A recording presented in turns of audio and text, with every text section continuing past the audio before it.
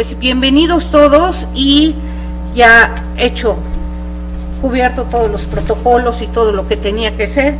Queremos iniciar un diálogo con personas que han vivido lo que es el trato del voluntariado en los museos.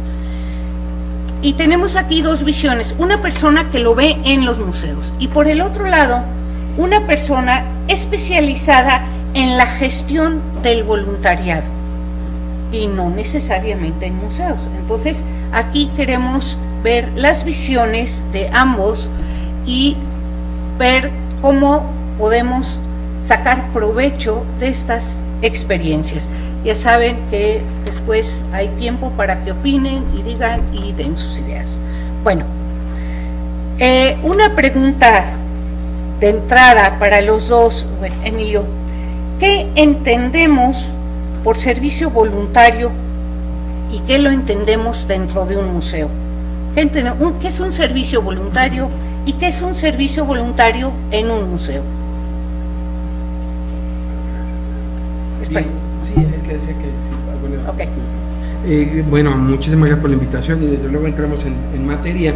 Básicamente, pues ah, hay diversas este, definiciones que, que podemos este, remembrar sobre voluntariado, pero podemos recitar alguna en donde contiene todos los elementos. Una persona voluntaria es la que, por un acto de libre voluntad, aporta parte de su tiempo sin esperar remuneración económica a cambio, otorgando parte de su tiempo para ayuda de otros fuera de su propio hogar. Esta es la, definición que tiene la Organización Internacional del Trabajo. Entonces, si desmenuzamos los contenidos de esta definición, nos va a ayudar mucho a aclarar que es un voluntario. Entonces, decíamos, es una persona que por libre acto dice quiero ayudar, quiero involucrarme. ¿Qué es lo que aporta? Aporta tiempo, y eso es lo más importante en un voluntario. ¿Cuánto tiempo va a dar?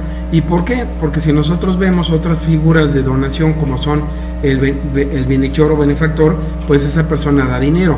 Pero también tenemos una figura muy interesante que es el mentor. Y el mentor es una, una persona que principalmente da talento. Entonces veamos las diferencias, ¿verdad? El voluntario da tiempo, el bienhechor da dinero y el mentor da conocimientos, ayuda a las labores. Entonces, visto de esta manera, doctora, un voluntario o una voluntaria son personas entonces que se suman a, realizar actividades y puede ser a través de una organización o puede ser de manera individual. Esto es bien interesante, ¿no? En nuestro país eh, predomina más la acción individual voluntaria, es decir, el que ayuda cara a cara, el que sale a ayudar a un prójimo, el que hay una coyuntura, este, temblor, una inundación, entonces se apersona y ayuda. Y la otra forma de hacerlo es a través de una organización que puede o no tener un grupo voluntario. Diferencia entre voluntario y servicio social. Uy, estupenda pregunta porque eh, pues nosotros tenemos un régimen muy especial en México, impulsado por el presidente eh, Lázaro Cárdenas, en donde se constituye en México esta experiencia de servicio social. Nosotros tomamos mucho esta idea eh, muy, muy chusca de la, de la presidenta de la Alianza Mexicana de Voluntariado, donde dice que precisamente el servicio social se define como obligariado, no es voluntariado. ¿Por qué? Porque exactamente el alumno, el espíritu del servicio social es retribuir con tiempo, 480 horas, ¿verdad?, a la comunidad universitaria o a la institución de educación media o superior que le dio la oportunidad de, de tener estos estudios. Entonces es una reciprocidad, pero está de alguna manera obligada. Obligada. Adriana, servicio voluntario en dentro de un museo.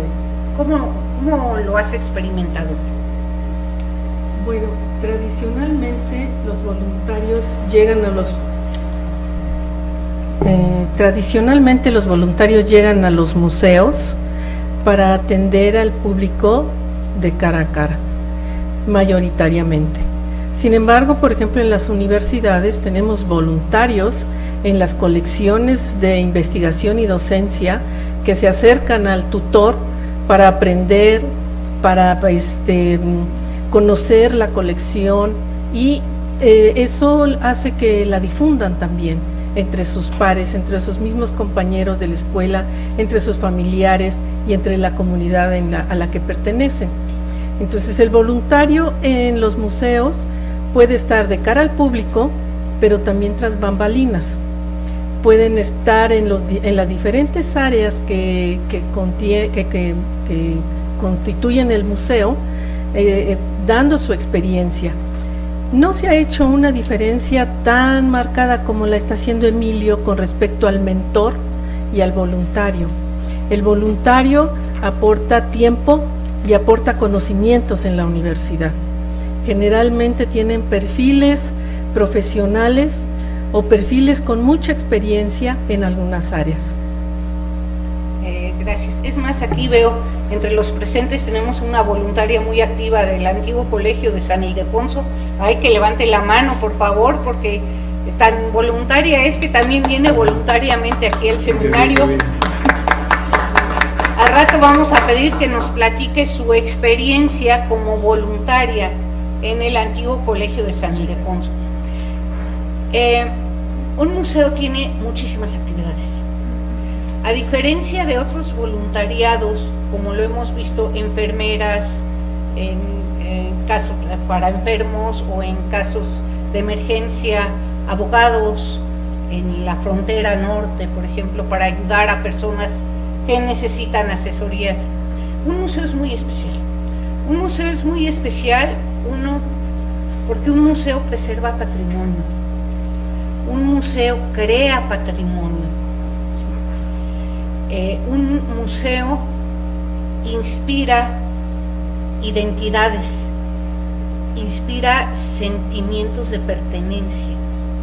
Eso hace un museo muy especial, porque, y yo creo que lo vamos a escuchar después de otros, eh, con otras personas, el hecho de atender al público o de cuidar de una colección eh, causa un sentido de, pertenezco a ello.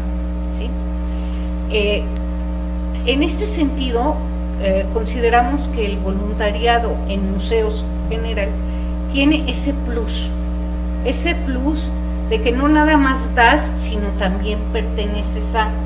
Y si tienes la oportunidad de cuidar o promocionar o difundir el patrimonio, como que te sientes más halagado. Estoy bien, estoy mal.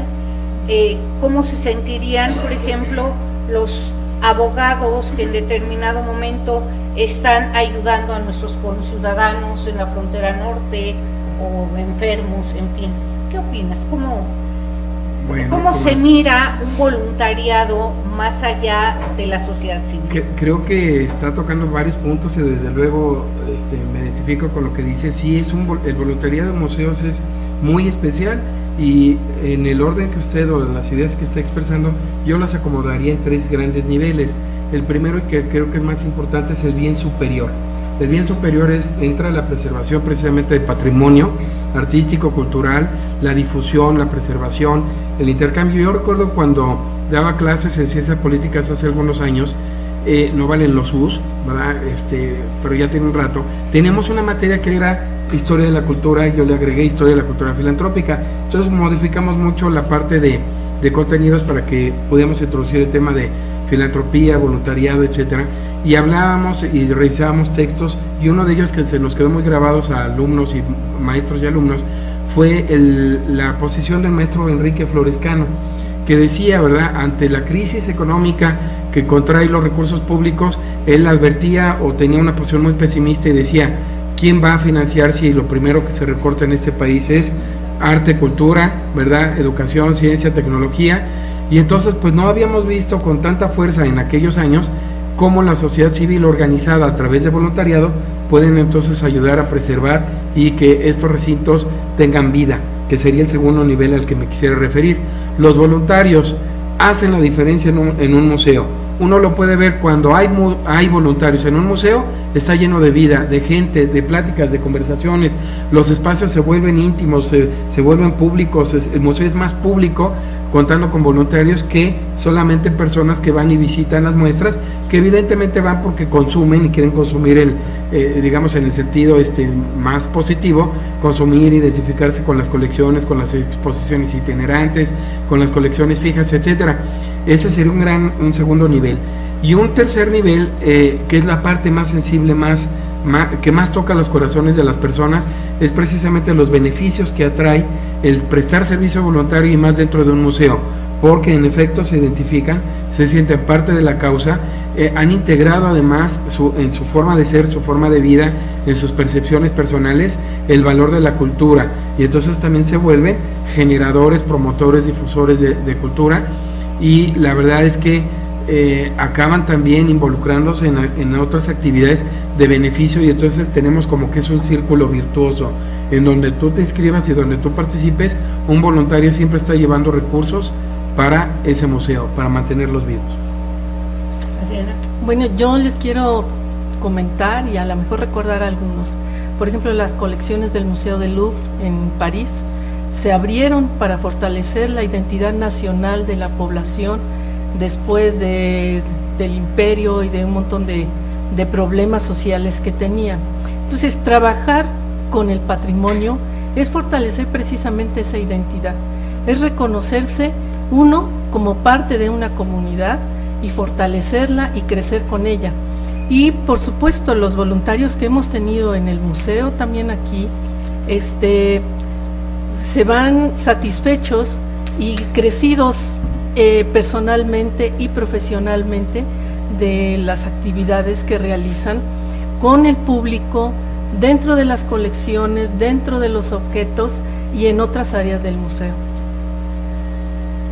Bien, este, muy bien, entonces vamos a, a ir juntando estos dos visiones de un voluntario fuera del museo, un voluntario dentro del museo, y yo le quiero agregar aquí en este caso, el caso de Universum, estamos dentro del campus universitario.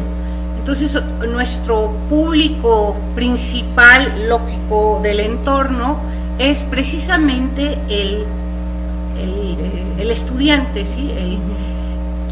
Eh, en un museo, y sobre todo en un museo de este tipo, podemos tener voluntarios jóvenes hasta voluntarios de la tercera edad, ¿no?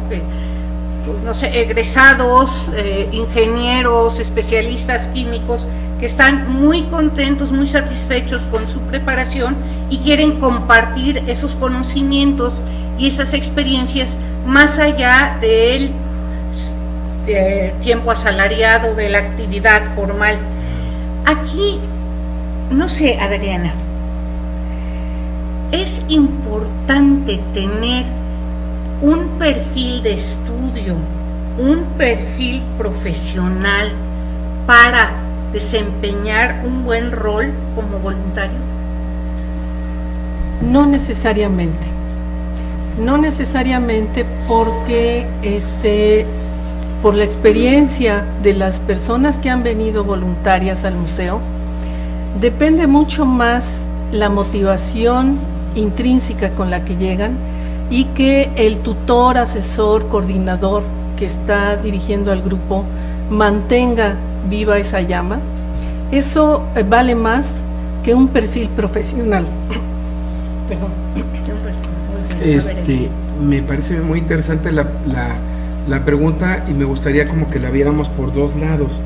la, la, la, primera situación, como retomando lo que dice la maestra Adriana, claro que cuando una organización, en este caso un museo, está buscando voluntarios, necesita tener el perfil del voluntario que va con las actividades y las funciones que va a hacer el museo. Esto es lo que le toca a la organización, es decir, este, para, para visitas guiadas necesito jóvenes de mujeres, hombres de tal y tal edad, entonces son los requisitos. Pero Adrián está tocando la parte, y es la pregunta inicial, de si la persona que se acerca como voluntario necesita requisitos de universitarios. No, desde luego que no. Y algo bien fabuloso es que, aquí lo dijo usted muy bien, doctora, luego se acercan estudiantes.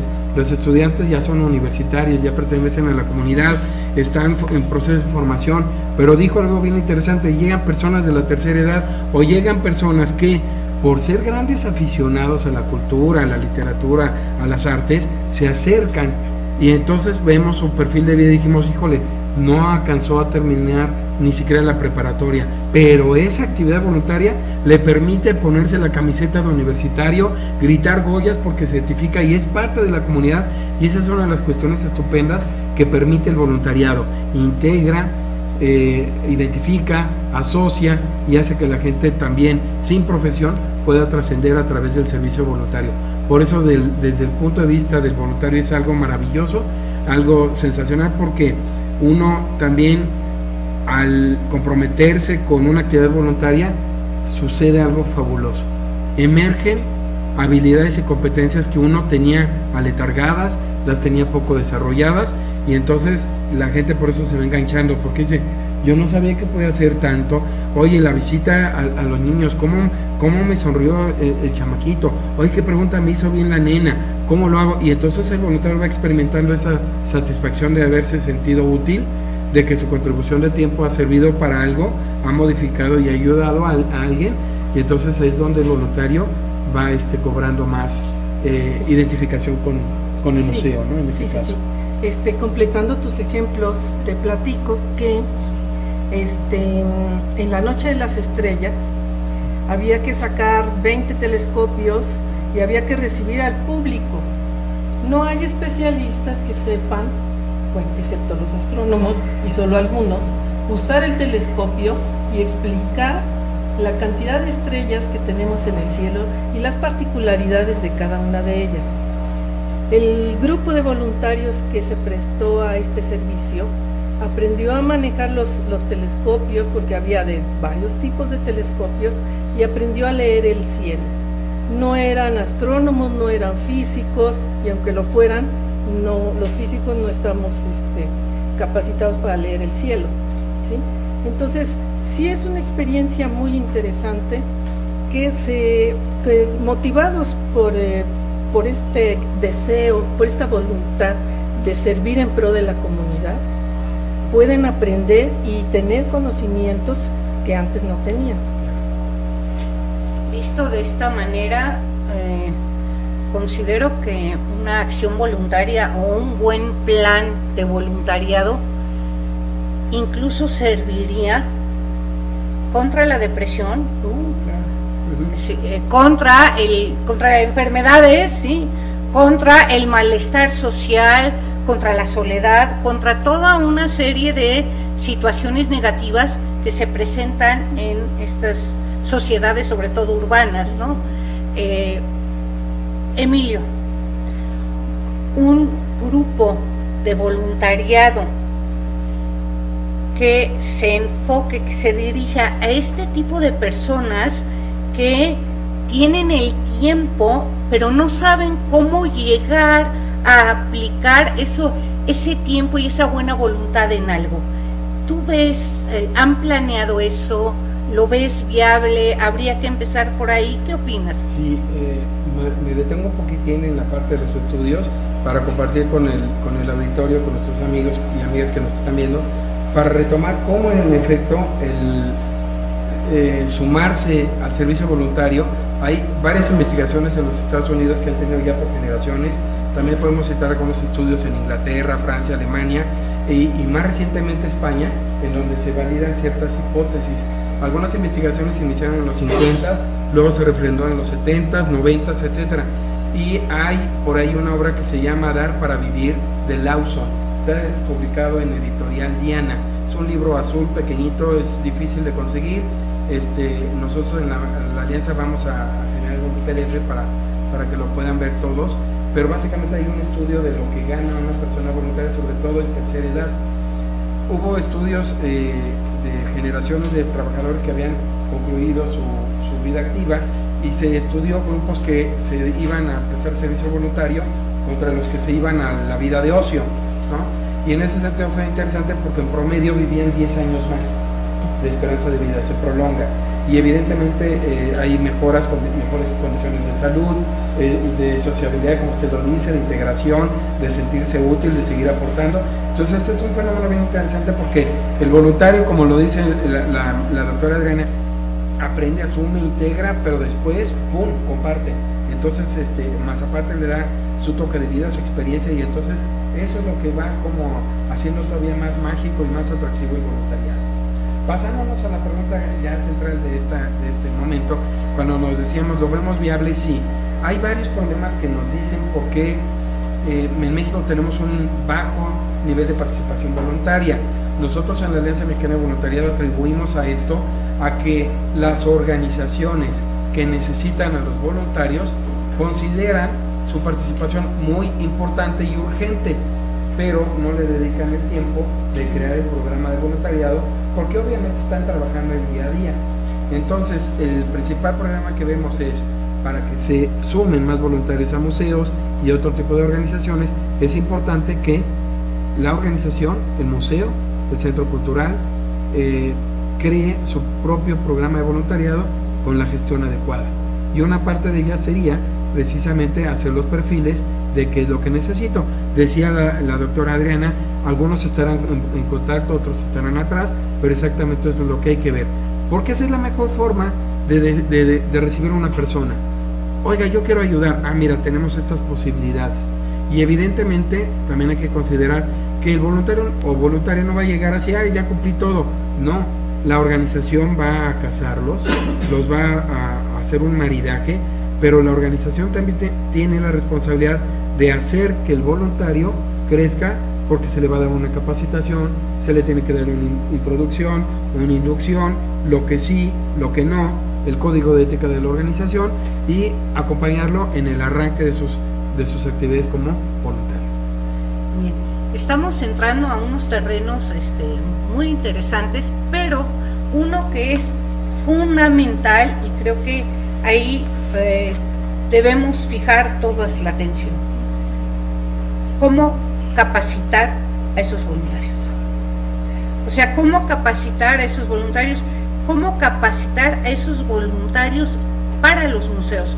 O sea, el programa de capacitación tiene que ser tan, tan detallado, tan fino, tan versátil, tan completo, que tomando en cuenta todo tipo de, personas que puedan participar y todas las actividades eh, eh, por realizar y además que tenemos la responsabilidad patrimonial, eh, ¿qué, aspectos son insustituibles en una capacitación de este tipo? Adriana, ¿nos podrías comentar algo al respecto? Sí, sí, Mira, después de mucho tiempo de hacer programaciones curriculares en donde nuestro interés se centra en la temática, en los contenidos, en el objeto, ¿sí? Después de todo eso, me di cuenta que la principal acción con la que tenemos que empezar es la filosofía. ¿Para qué y por qué de lo que queremos hacer? Entonces, en una institución que ya nos está diciendo el por qué y para qué estamos en la, institución, debemos retomar, por supuesto, primero que nada la misión, la visión, los objetivos y las metas de la misma institución. De esta manera podemos nosotros sentar un poco eh, las bases en el piso, ¿sí? De ahí tenemos que arrancar para que también el voluntario se sienta integrado, se sienta parte de esta institución en ese reconocimiento es el que le va a mantener el corazón latiendo, que eso es realmente un voluntario, es el que tiene el corazón en la mano y lo tiene latiendo. ¿sí? Entonces, con esta filosofía, pues tenemos después que buscar un marco teórico adecuado a lo que tenemos. ¿Cuál es el marco teórico del voluntariado? Ahorita yo creo que Emilio sabe más de esto que yo, pero se está viendo el aprendizaje eh, a través del servicio. Este es un marco teórico pedagógico que se basa en la filosofía de, del aprendizaje experiencial y la pedagogía crítica. En los museos tenemos también un marco teórico muy fuerte que está tomando gran este, fuerza, que es la mediación. Entonces, la mediación toma ya de la mano al interlocutor entre, los objetos del museo y el público. Antes teníamos modelos para cómo, hacer la visita de tal forma que el objeto era el principal, después teníamos modelos para que este fuera el investigado, la ciencia lo principal, y ahora este modelo de mediación está haciendo una conjunción entre lo que está entre el público y los objetos del museo. Entonces yo creo que tomar la filosofía buscar un buen marco teórico y muy, muy de la mano con los recursos con los que contamos, porque si nuestra exposición es solamente, no se puede tocar porque son objetos históricos, están atrás de una vitrina, o nuestra, nuestra exposición son este, pantallas en donde picas y, no sabes para dónde va el asunto, computadoras, o nuestra exposición, o sea, cuáles son los recursos con los que realmente contamos. Yo creo que son los tres elementos. Por supuesto, esto va de la mano con quién es el aprendiz. Entonces, ¿quién es el voluntario? Generalmente son grupos que no son homogéneos y que entran, aunque entren en periodos establecidos por la institución, entran con perfiles muy diferentes, con capacidades, intereses y necesidades muy especiales. Entonces, esta capacitación de ah, eh, completando todo lo que nos acaba de mencionar Luisa, tiene que ser flexible. O sea, esta programación que hagamos en el tiempo, con los recursos, el marco teórico, la filosofía, todo esto tiene que ser flexible y adaptable a los personajes con los que contamos, porque son finalmente la cara de nuestro museo y van a ser la cara de nuestro museo. Yo quisiera este, aportar eh, algunos otros elementos que desde luego me identifico con lo que dice Adriana y me gustó mucho esta, esta eh, situación de cómo el museo, en tu experiencia, se ha movido a este modelo de mediación.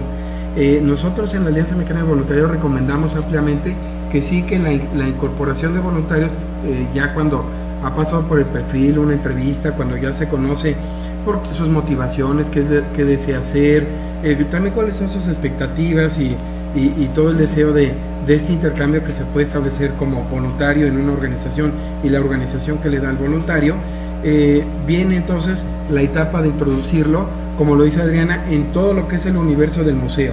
Como dice, y es muy importante la misión, la visión, un poco también señalar quiénes son las personas que estuvieron atrás, cómo se creó el museo, porque hay museos que se crearon porque hubo un patronato o porque hay personas que legaron un, un, bien ¿verdad? Por ejemplo, estoy pensando en la viuda de Pablo Higgins, de que ella este, quería eh, mantener el patrimonio unido y decía, bueno, este, lo habito aquí en la casa, pero cuando yo fallezca, porque ya no tuvo hijos, lo leo al pueblo de México, pero muy preocupada ella decía eh, cómo se va a administrar. Entonces, en ese sentido, eh, la, la organización tiene que platicar esto, porque ahí viene, diríamos, un término que nos vamos a identificar es el mito fundante. ¿Por qué se creó ese museo? qué hay detrás. Uno puede ir al Museo de Memoria y Tolerancia y ve todo también cómo hay un, muro en donde vienen todos los patrones fundadores del museo.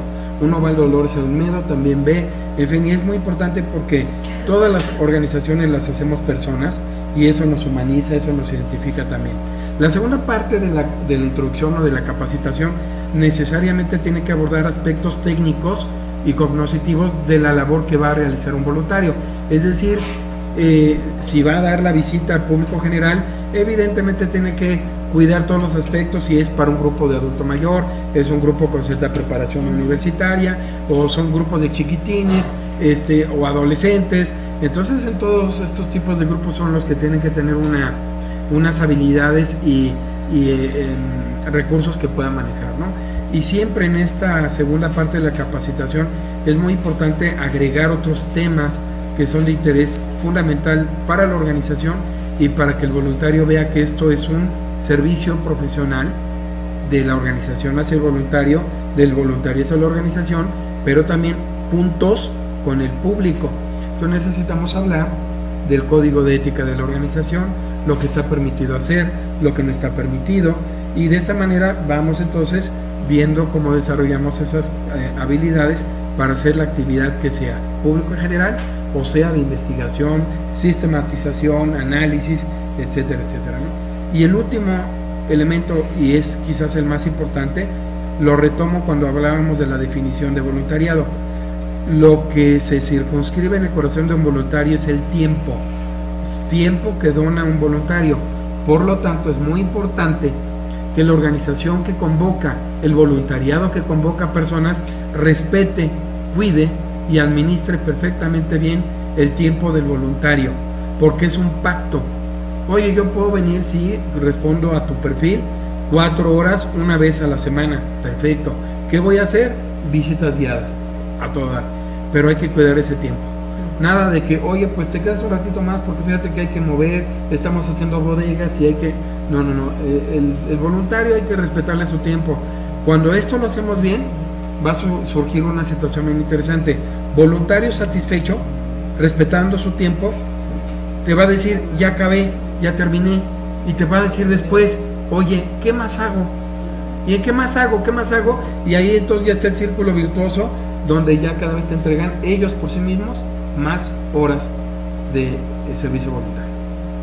Muy bien, muchas gracias. Este, yo aquí quiero, eh, si, ustedes están de acuerdo, eh, romper con, con, esta línea, e invitar a Patti, a nuestra Patti, nuestra voluntaria, nuestra voluntaria aquí en el, este, en el antiguo colegio de San Ildefonso. ¿Podemos traer otra silla, por favor?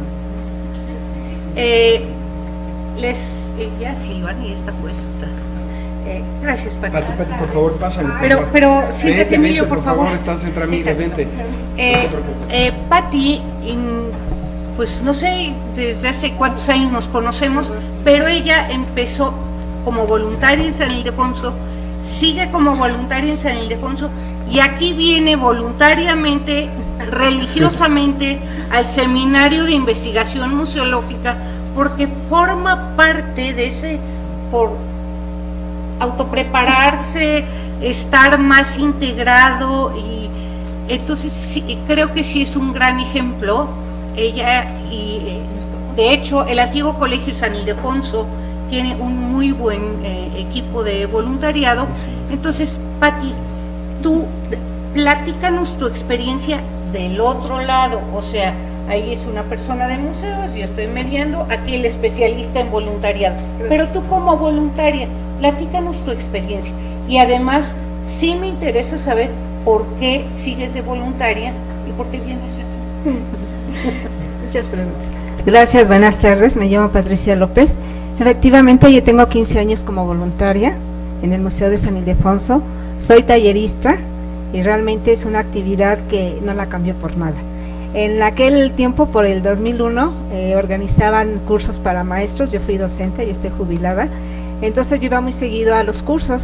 Entonces hubo tres personas a las que yo siempre les voy a agradecer su invitación es la licenciada Lourdes Quijano, de Servicios Pedagógicos, Madelka Fiesco, ya no está en el museo, y Mónica Zukovska, que tampoco ya está en el museo. Ellas fueron las tres personas que al verme tan seguido en los cursos, porque yo soy adicta a los cursos, pues me invitaron a participar. Y yo dije, ¿y qué es un voluntario? Yo pensaba que se requería pues no sé, una licenciatura, una maestría, una situación así. Y cuando me entrevistaron, les dije es que a mí me gustan mucho los museos, visitarlos desde pequeña. Y mis visitas pues han sido muy frecuentes a varios museos. Y me dijeron, no, que mira, que aquí el edificio, que no sé qué.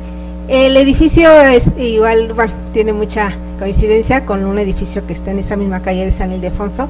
Ahora es el Centro de, de Restauración de Obras de Bellas Artes. En aquellas épocas, en los setenta y tantos, fue la secundaria número 6 y yo estudié ahí. Entonces cuando ingreso una vez al Museo de San Ildefonso, pues dije, pues casi casi, bueno, no igual, pero tiene mucha similitud de los jesuitas y demás. Entonces de ahí me atrapó el museo y desde entonces empecé a, ir como voluntaria, me capacitaron, porque efectivamente hay una capacitación previa para todos, y lo que dicen aquí el, maestro, ahí eh, admiten a personas de todas las edades, no necesariamente eh, eh, profesionistas, hay personas ya jubiladas, hay un compañero, y lo voy a comentar porque es un ejemplo para nosotros, él es bombero, sí, está en el cuerpo de bomberos, hay amas de casa, hay personas que han viajado por muchas partes del mundo, otras no lo hemos hecho, pero ahí en ningún momento nos dicen, este, a ver, tú sí, tú no, o tú estás aquí, en fin.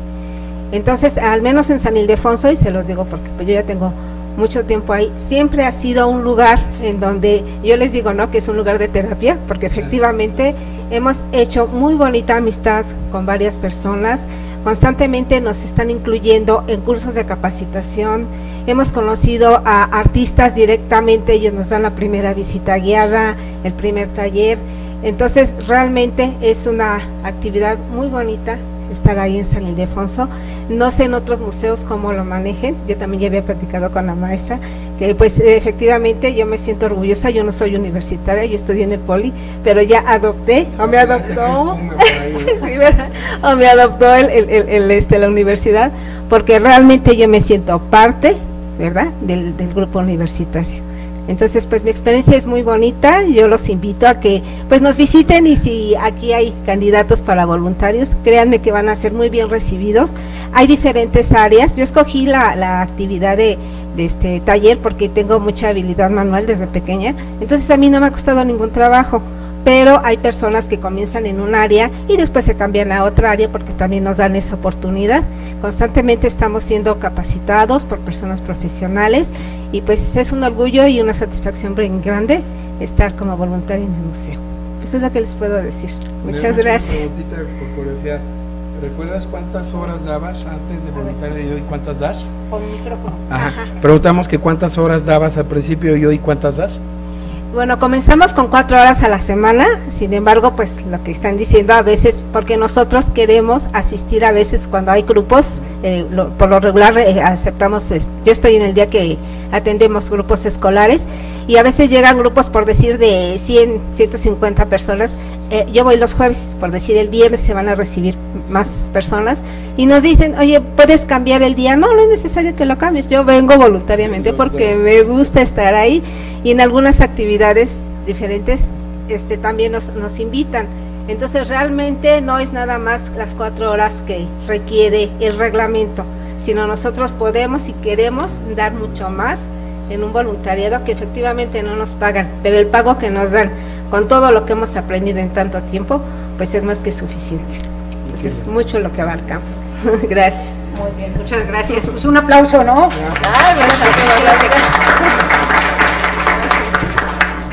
Quédate aquí, por favor. Bueno, eh, es, es, un ejemplo de lo que se puede lograr. ¿Ya tienes cuánto? ¿15 años? 15 años, Pati. Bueno, pues sí, nos da mucho gusto y mucha envidia así, eh, eh, así que queremos tener voluntarios en todos los museos y en todos los, museos este, universitarios. Eh, Adriana, bueno, independientemente del voluntariado que organizan aquí con la sociedad civil, ¿Qué aspectos habría que destacar en la capacitación de voluntariado en los museos? ¿Qué aspectos habría que destacar más? Y si tú, a partir de tu experiencia, después quieres completar, para ti, con mucho gusto. Bueno, mira, uno de los aspectos que se menciona aquí es el perfil del voluntario. Ya dijimos que en realidad el perfil del voluntario es muy variado lo que sí debe estar muy, muy claro, y sobre todo para la capacitación, es las actividades que se van a realizar y los objetivos que queremos con esas actividades en el museo. Cuando las actividades que queremos están bien detalladas, es mucho más fácil hacer una programación para la capacitación, porque tenemos que hacer también el, el perfil de ingreso del voluntario, o sea, qué habilidades, qué intereses, qué necesidades tiene y cuáles son sus expectativas. La mitad de ellos no llenan las expectativas del museo, pero tienen expectativas personales muy, altas, que hay que ajustar primero que nada en una inducción, en, en un primer encuentro para la capacitación, que es lo que llamamos la inducción. ¿sí? Ajustar esas expectativas con las expectativas propias de la institución. Después, yo creo que esa es una de las características principales. Y después, ver qué se requiere para las actividades. Como los voluntarios van a ir a diferentes áreas, son las áreas las que tienen que decir cuál es el perfil que se necesita para desarrollar esa función, la función que van a hacer los voluntarios. Entonces, hay que detallarlas muy bien y hay que capacitarlos específicamente, primero que nada, para las actividades que van a desarrollar. Después pueden cambiar, como le hizo Patty, pueden elegir otra cosa, pero primero que nada es no romper esa motivación que tienen al principio, porque no alcanzan o no llenan las expectativas ni las capacidades que se requieren para las labores que van a realizar. Entonces, en una capacitación en un museo, definir las actividades, creo yo, y capacitar específicamente para el desarrollo de esas actividades. en este caso, por poner un ejemplo, entre Universum y el antiguo Colegio San Ildefonso, hay una diferencia sustantiva, que es la temporalidad de las exposiciones. San Ildefonso se mueve por exposiciones temporales.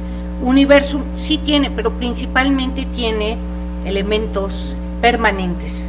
¿sí?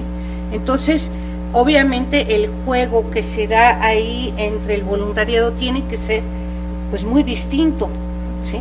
porque el renovar exposiciones requiere siempre una capacitación en cuanto al contenido y se viene lo que dice Patti, la oportunidad de tratar con tal artista o que te lo refresca la exposición temporal. Entonces, cuando eh, prevalece la exposición permanente, ¿qué hacemos? Hay que retomar dos aspectos. El primero es el nivel eh, de capacidades y habilidades que tiene el voluntario que nosotros tenemos que conocer de antemano. El segundo nivel sí es eh, muy importante que se les capacite en el contenido de los objetos que tenemos en la exposición. Ahora, una exposición permanente parece árida, pero no es tan árida cuando tenemos que atender a públicos de muy diferentes este, edades. Entonces, nosotros nos tenemos que, capacitar muy bien en hablar sobre un contenido para niños de primaria, para niños de secundaria, que son totalmente diferentes, para, para jóvenes de preparatoria, para preescolares, para familias, para personas con algún problema de discapacidad. O sea, el preparar un solo contenido una sola actividad para diferentes públicos ya no, ya no es este, el mismo asunto, ¿verdad? Yo, yo quisiera agregar dos cosas que, que, me vienen a la mente. Una es qué aspectos no deben de faltar en la capacitación. Me voy un poco más a la gerencia. No debe de faltar la documentación que establece todos los acuerdos. Desde la revisión del perfil, las funciones, el código de ética, eh, la situación de la carta de compromiso, la renuncia a derechos laborales, em, los comprobatorios de que se recibió la capacitación, abrirle el expediente al voluntario, porque al final de cuentas lo vamos a ir llenando y personas como Pato, imagínense, pues empezó así, pero ahorita me imagino que es tres tomos de esta, de esta altura, ¿no? Pero este, exactamente, y hay otro elemento muy importante, también en la capacitación tenemos que advertir qué le vamos a dar de retribución a los voluntarios, ir, ir exactamente observando las cualidades, características individuales de cada uno de ellos. Y a esta pregunta que usted nos pone, eh, doctor Rico, como, como una cerca muy interesante, cuando dice, ¿será igual para colecciones permanentes? Y la maestra Adriana toca el punto y me parece algo eh, como una oportunidad muy buena, es, la, eh, en un museo hay que estudiar la coyuntura que hay afuera. ¿Cuál es el contexto? Entonces, pienso, ¿no? Eh, Universo ahora viene, tiene su colección fija, pero se acerca un nuevo aniversario de la conquista del hombro eh, en la luna, 20 de julio de 69. Ah, perfecto, entonces ese es el contexto y entonces ahí es donde precisamente metemos los hechos históricos al museo. La gente el que está aquí lo ve y se lo lleva y entonces lo interioriza. Entonces también es un poco el truco de estar jugando con la coyuntura del país, de la sociedad, de la comunidad, el contexto y entonces esto te hace todavía más, más diverso, más, más atractiva la experiencia. Eh, yo creo que una de, las grandes versatilidades que se da en esto es que un museo tiene muchas actividades. O sea, eh, es tan rico, un museo es tan, así como un objeto es polisémico, el trabajo de un museo es tan polisémico que, el objeto entonces, eh, siempre hay muchas cosas por hacer. No sé si tenemos el micrófono ambulante aquí a la mano, porque quisiera yo preguntarle a varios compañeros eh, que se encuentran siempre con estas situaciones de voluntariado o de no voluntariado, unos que quieren pero no pueden, otros que, que quieren, desean y les da miedo. Eh, y otros que de plano lo rechazan. Eh, se me ocurre, por ejemplo, Patti Martínez, Museo del Carmen, que cómo se visualiza en cuanto al, a un voluntariado en su museo y, por ejemplo, Luis Mesa, que trabaja aquí en ciencia recreativa, que siempre tiene muchos chicos y, tiene becarios, él se mueve mucho con becarios, que son las personas que trabajan con estos chicos. Aquí el perfil del voluntario tiene características especiales. Ustedes, Pati, ¿tú cómo piensas al Museo del Carmen ¿sí? En cuanto a voluntariado?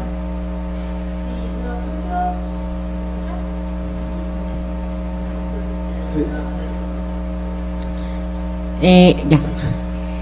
Bueno, nosotros hace mucho tiempo quisimos tener voluntarios. Eh, no es fácil, no es fácil para, para el instituto tener voluntarios. Nosotros nos, eh, nos acercamos justamente a San Ildefonso para, debido a su gran experiencia que tienen voluntarios, a saber toda la, tramitología que se tiene que hacer para tener voluntarios. No logramos tener eh, voluntarios. Sí tenemos gente de servicio social que no es lo mismo, pero una voluntarios así debidamente estructurada la función no tenemos. O sea, sí llegan personas que nos ayudan, eh, a veces es la misma familia y todo esto, pero propiamente dicho con códigos de ética, como están diciendo aquí, con, con cartas compromiso y todo eso, no lo tenemos. Como el voluntariado para todas las actividades que tú haces aquí en Universo. Después le vamos a pedir a los compañeros del papalote que opinen en cuanto al voluntariado al Museo de Arte Contemporáneo Indígena de Cuernavaca. ¿Cómo perciben ellos esta posibilidad? Ustedes jóvenes también. A ver Luis, por favor. Primero, bueno, buenas tardes a todos. Eh, muchas gracias a la mesa por compartir sus experiencias con este tema del voluntariado. Eh, y em, yo veo al voluntario como eh, muy necesario ya, porque estoy seguro que es un personaje que le va a aportar mucha, mucha experiencia la actividad que hacemos nosotros. veo que debe ser un voluntario con el que hay que trabajar, como lo han estado comentando a lo largo de la mesa. Eh, un voluntario que le guste mucho contacto, contacto directo con la gente.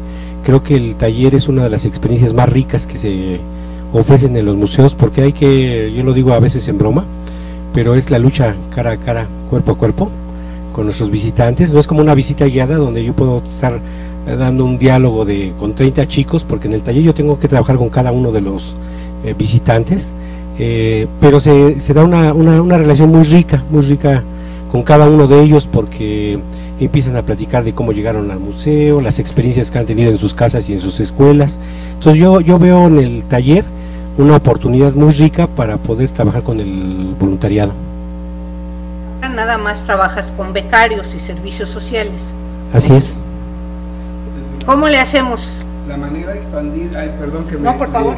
pero este, bueno, antes que nada también quiero darle las gracias a Susi Barniche presidente de la Alianza, que acaba de llegar, que se incorpora con nosotros. Y, y, me regreso un poco con, con la parte que, que, está saliendo. Patti me dice, eh, ha sido difícil. La verdad no es tan difícil, bendito Dios, ahora ya contamos con más recursos y pues por eso decía la presentación de Susi, porque espero que me lo apruebe. Nosotros con todo gusto en la Alianza Mexicana de Voluntariado podríamos que nos pongamos de acuerdo y llevar alguna sesión de exactamente cómo desarrollar el programa, los elementos que tendría que hacer, las herramientas que hay que tener, estaríamos dispuestos a ofrecerles un taller sobre cómo crear y, gerenciar un programa de voluntariado. Eh, y evidentemente nos vamos a enriquecer porque ustedes nos van a dar el punto de vista del museo y entonces podemos atenderlo muy bien. ¿no?